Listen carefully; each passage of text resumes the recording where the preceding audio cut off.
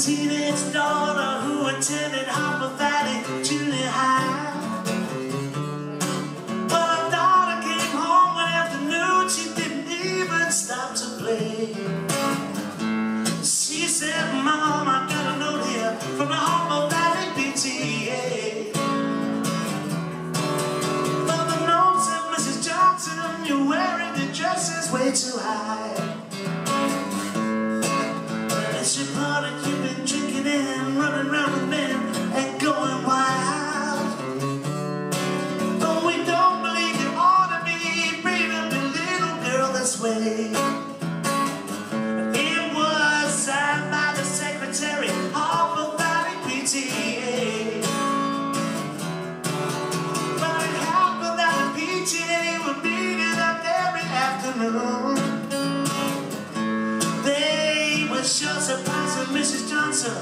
To get into the room.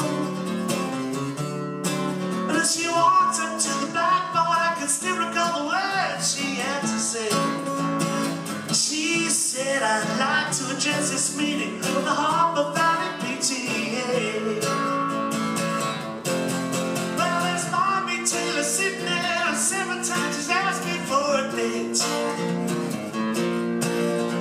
Mrs. Taylor sure seems to use a lot of ice but never he's away.